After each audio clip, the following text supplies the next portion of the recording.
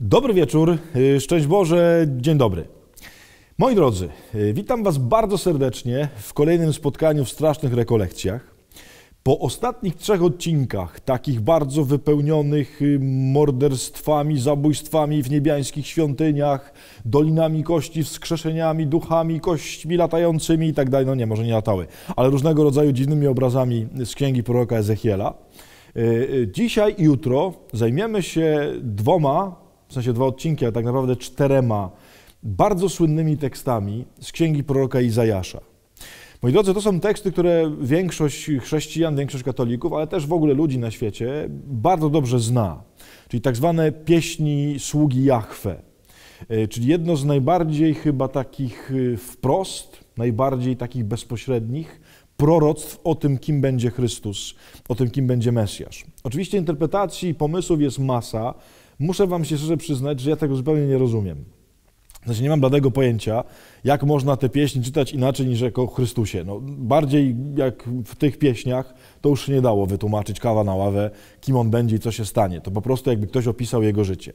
Więc zajmiemy się dzisiaj pierwszą i drugą pieśnią y, sługi Jachwę, a jutro y, trzecią i czwartą i zrobimy sobie taki dopełniający obraz y, no właśnie Izajaszowego proroctwa o czasach ostatecznych, bo oczywiście przyjście Mesjasza to są czasy y, ostateczne. Więc zapraszam na izajaszowe rozważania.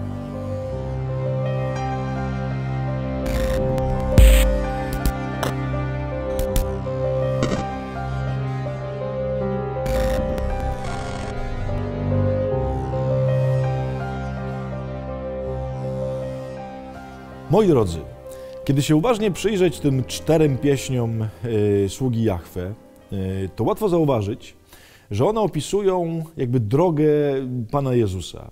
Pierwsza i druga są jeszcze dosyć takie pogodne, jeśli tak można powiedzieć, chociaż są już szczególnie w drugiej pewne zwiastuny cierpienia, ale pokazują pewnego wybranego w cudowny sposób sługę przez Pana, który będzie spełniał Jego zadania, który będzie spełniał Jego wolę, który, że tak powiem, choćby nie wiem co, będzie szedł za jego wskazaniami. Y, trzecia i czwarta już dosyć dużo mocniej pokazują jego cierpienie, no czwartą najsłynniejszą, ale o tym jutro, która pokazuje Pana Jezusa po prostu y, umęczonego na śmierć. I kochani, łatwo sobie wręcz jakby zbudować taki obraz ewangeliczny, naprawdę, od urodzenia aż do śmierci Pana Jezusa względem tych pieśni. Chciałbym, żebyśmy dzisiaj w związku z tym zrobili taką jedną dosyć prostą rzecz. Mianowicie w tych dwóch pierwszych pieśniach, bo dzisiaj zajmujemy się tymi dwoma pierwszymi. Mam nadzieję, że oczywiście je czytaliście e, wedle tych linków, które tam podaliśmy w opisie pod filmem.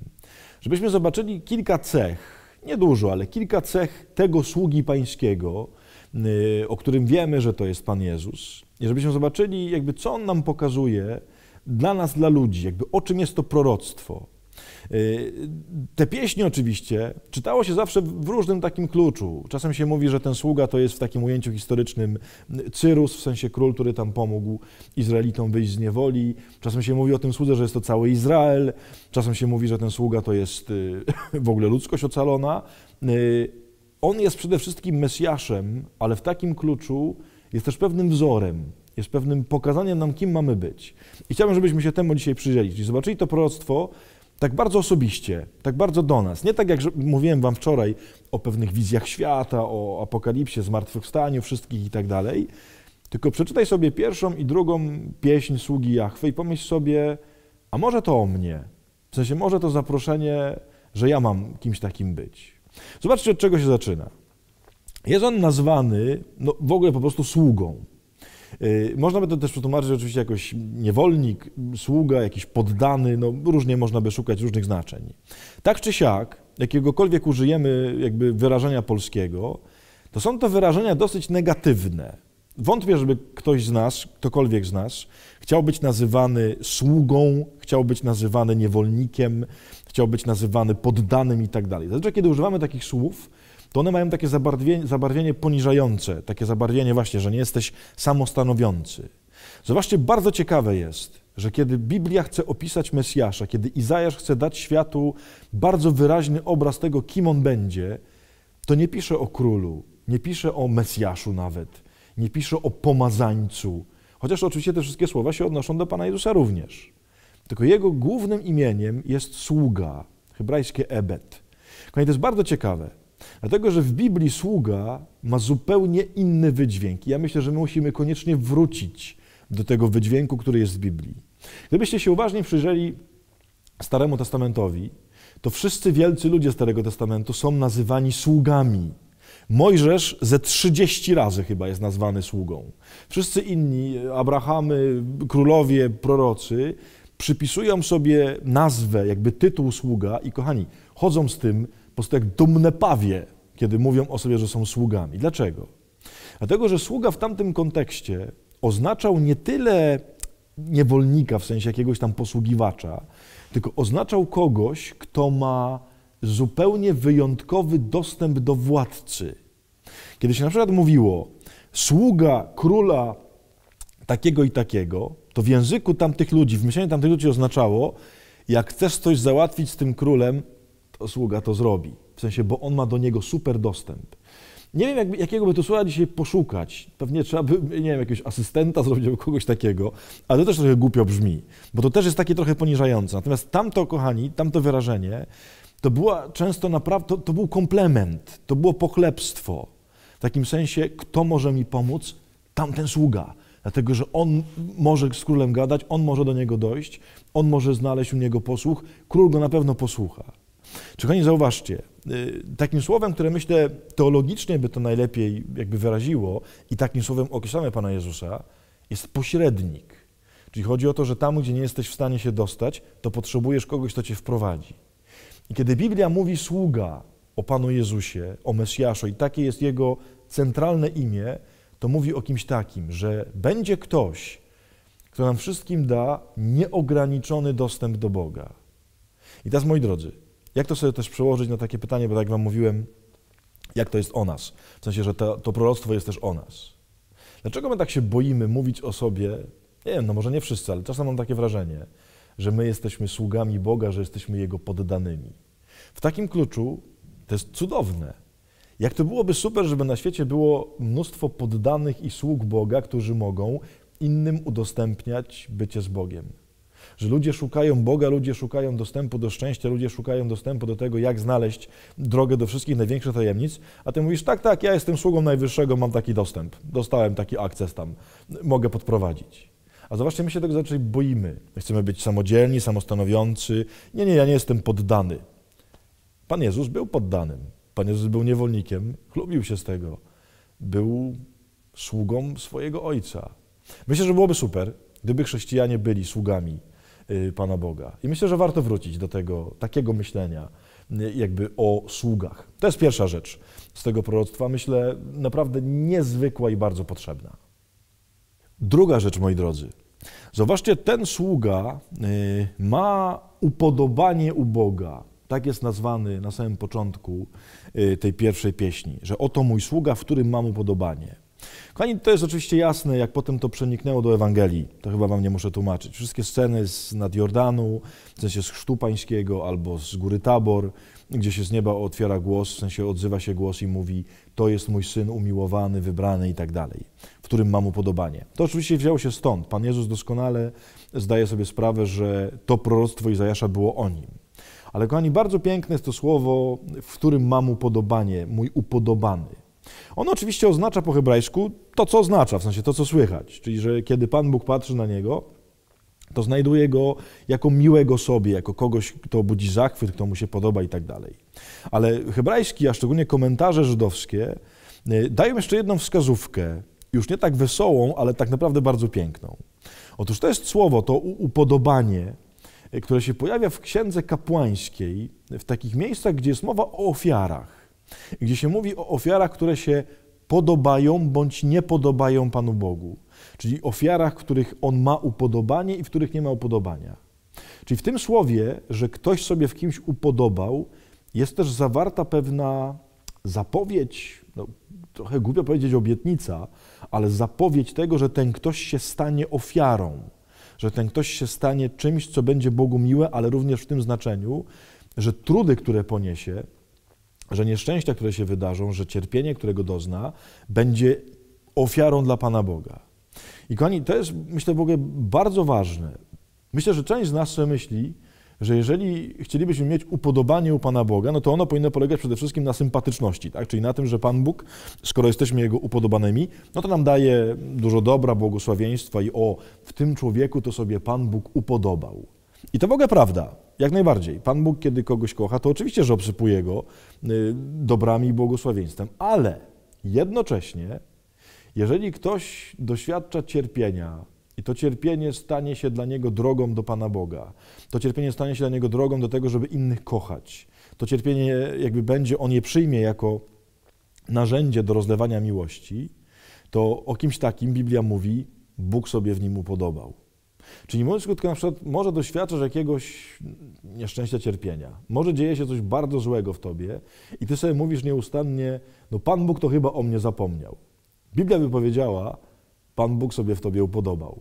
W sensie, skoro się to dzieje, skoro to się wydarza w Twoim życiu, to cierpienie, te trudności, te nieszczęścia, to znaczy, że Pan Bóg musi mieć szczególne upodobanie e, w Tobie. Ja wiem, czasem sobie pewnie myślimy, takiego upodobania to ja nie bardzo chcę.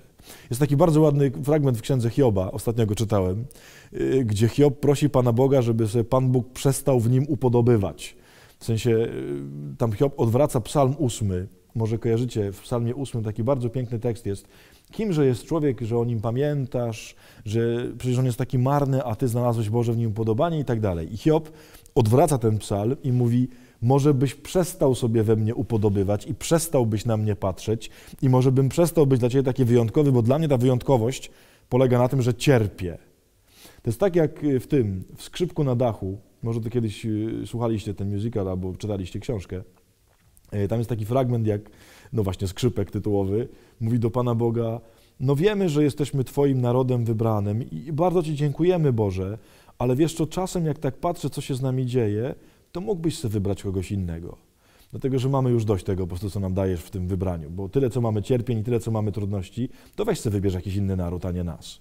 I kochani, ja, ja rozumiem, że czasem mamy takie myślenie, ale ta, ta pieśń pokazuje o nas coś bardzo ważnego że również tam, gdzie cierpisz, gdzie jesteś doświadczony właśnie wszelkiego rodzaju trudnymi rzeczami, to również jest wyraz upodobania Pana Boga.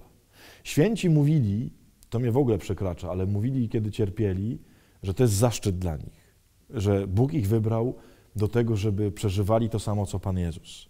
Że czuli się niegodni tego, że mogli cierpieć dla Niego. To jest w ogóle dla mnie już niepojęty poziom po prostu świętości, że człowiek cierpi i mówi sobie, Panie Boże, nie jestem godny tak dużo cierpieć, bo to, to jest za duża łaska dla mnie. Co to trzeba mieć za serce już w ogóle, żeby tak myśleć. Ale kochani, to jest właśnie ten sługa.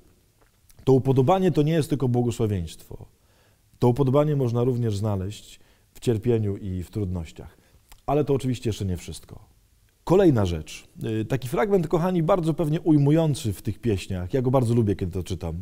O tym y, słudze pańskim, który nie podniesie swojego głosu, który nie będzie krzyczał, o tych właśnie takich jego pięknych cechach, takiej delikatności, że tam nie zgasi tego knotka i tak dalej, i tak dalej.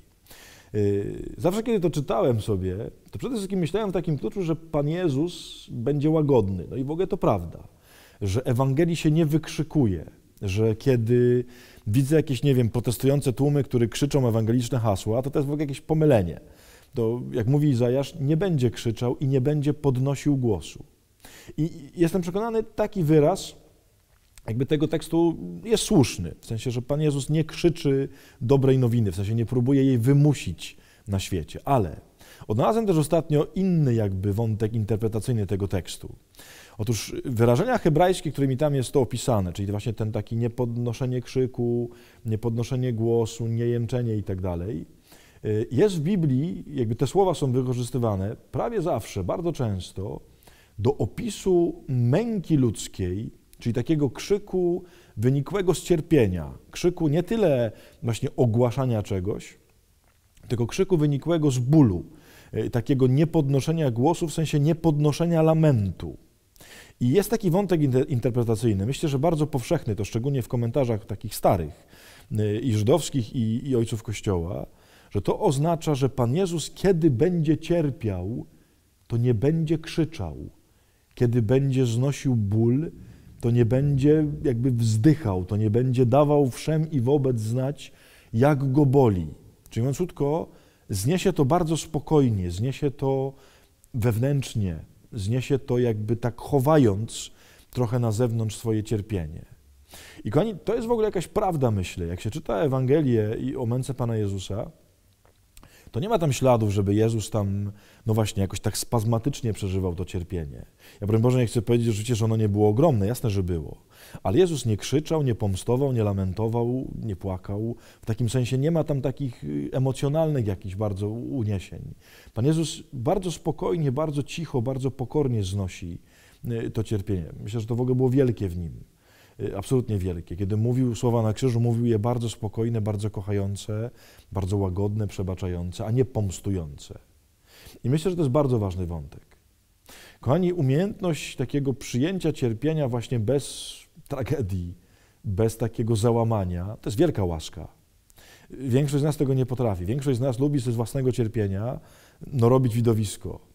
Y, czasem potrafimy wręcz własnym cierpieniem po prostu szukać uwagi innych. Ja, broń Boże, nie, nie, nie próbuję umniejszać tego cierpienia, ale my potrafimy zrobić z niego po prostu widowisko dla świata, jaki to ja jestem nieszczęśliwy, jaki jestem cierpiący. Co mówi ten fragment, co mówią te pieśni o Panu Jezusie? O, on nie robił czegoś takiego z cierpienia. I myślę, że nam by się, kochani, wszystkim to bardzo przydało. Jeżeli to jest proroctwo również o nas, jeżeli Pan Jezus nam pokazuje, kim mamy być, a to robi, bo jest najdoskonalszym człowiekiem, który pokazuje, kim ma być człowiek, to warto by się tego od niego uczyć. I oczywiście nie chodzi o to, żeby udawać nie cierpię, żeby udawać nie boli, żeby udawać nic mi się nie dzieje. Broń Boże. Nie, nie, nie.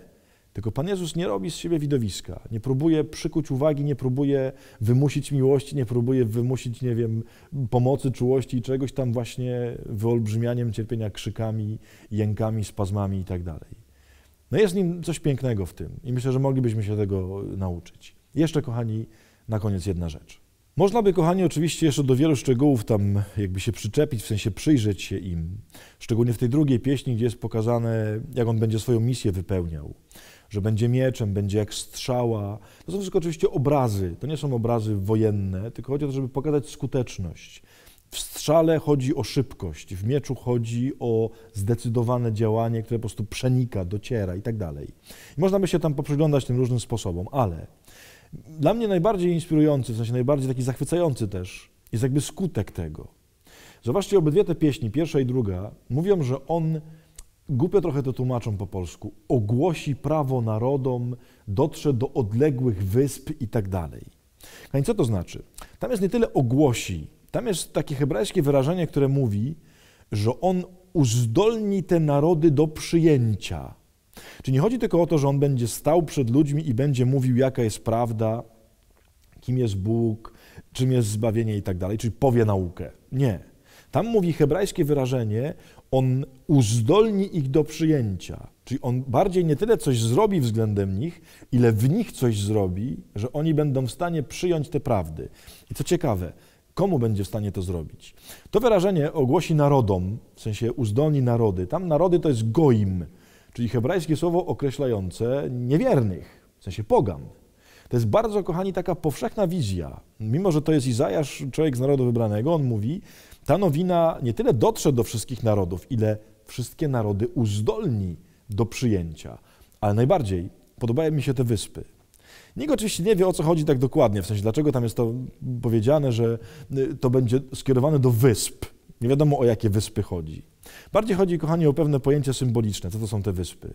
Zobaczcie, wyspa to jest takie miejsce odrębne, oddzielne, gdzie się żyje w pewnej izolacji.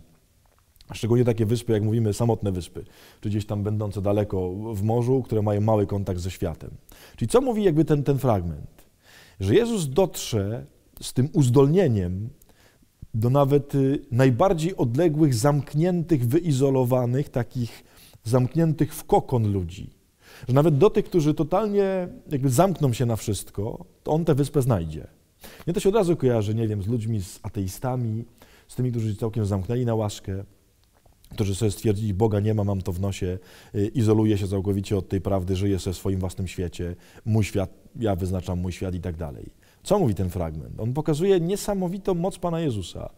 Mówi, znajdę najbardziej samotną wyspę i dotrę tam i uzdolnię ją do przyjęcia prawdy o tym, kim jestem i kim jest królestwo. No niezwykła nadzieja. W sensie Izajasz ma ogromne serce pisząc takie coś. Jakby Pan Bóg mu wlał wizję, że jakby Bóg nie spocznie, Bóg nie zrezygnuje. Kochani, zobaczcie, to oczywiście tylko kilka szczegółów z tych dwóch pierwszych pieśni y, sługi Jachwy. One pokazują niesamowity obraz człowieka, Mesjasza, Pana Jezusa jednocześnie zaproszenie dla nas. Bardzo Was zachęcam, bo ja Wam tylko podałem kilka szczegółów, tam jest jeszcze znacznie więcej. Posiedźcie sobie na modlitwie z tymi dwoma pieśniami pierwszymi dzisiaj i pomyślcie, do jakich cech zapraszają Was te teksty. Czyli do, do czego w Was one są zaproszeniem i jacy powinniśmy być. Tam jest obraz najpiękniejszego człowieka na ziemi, czyli Pana Jezusa i to jest tak samo zaproszenie dla nas. Jutro jeszcze trzecia i czwarta, no zupełnie inne, bo bardzo cierpiące, ale piękne teksty. Zapraszam y, na jutrzejszy odcinek.